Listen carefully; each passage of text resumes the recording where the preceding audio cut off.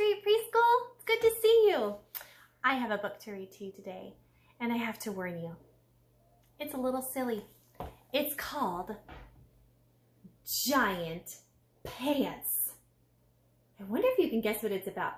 Can you look at this picture and see how you think that giant might be feeling right now? I think it's a little silly. Let's start. Giant Pants by Mark Fearing. Belbum was a giant, and like most giants, he was good at stomping, napping, and losing things. And one morning, he lost something very important. What could it be? His pants! Oh no! Belbum only had one pair of pants, which the tailor in town had made just for him, and now they were lost. Oh no! He searched his whole house. No pants. I even see him looking inside the teapot. After peeking outside to make sure no one was watching, he searched his backyard. No pants. Giants are good at being angry. And now Belbum was angry. Try and show us your most angry face and say, like Belbum the giant.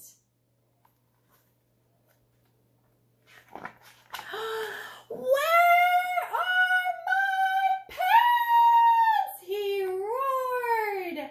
Uh-oh, I see a big mess. Unfortunately, hmm, that didn't help him find his pants, but it did make a big mess.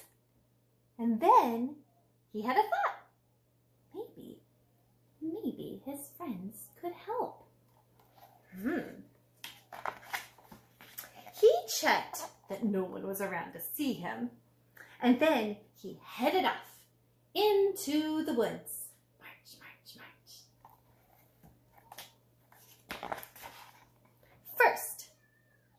Went to see Polyphemus the Cyclops. I've lost my pants, Belbum explained. Can I borrow a pair of yours? Hmm, I only wear togas, Polyphemus said, but I have an extra one. Belbum tried it on. No, he said, I need pants. Hmm, did you look in your house? Polyphemus asked.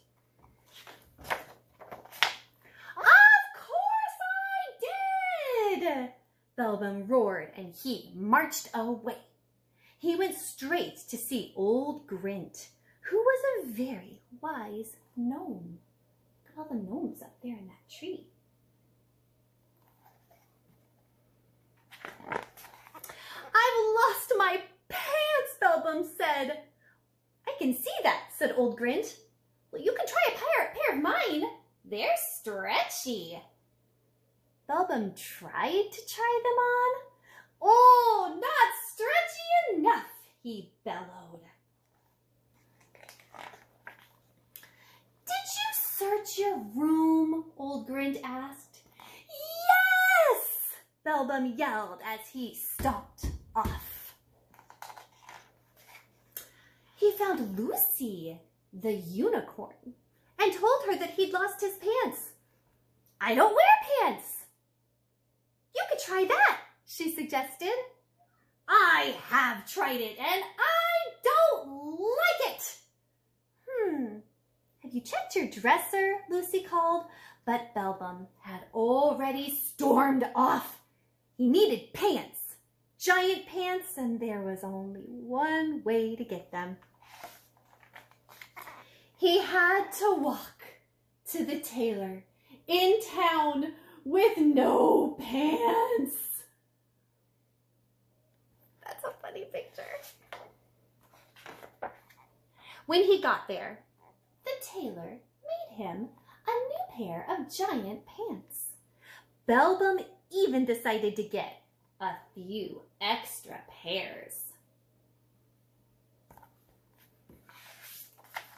On his way back, he gave each of his friends a pair of giant pants, just in case he ever lost his again. And when he got home, he cleaned up the mess he'd made and he put away his new pants. And that's when he found his old pants. Oh no, look! They were in the dresser drawer the whole time. Silly Belbum. Look at that magical forest to live in. What a fun place to have so many friends. Thanks for listening to my silly story with me. I'll talk to you guys soon. Bye.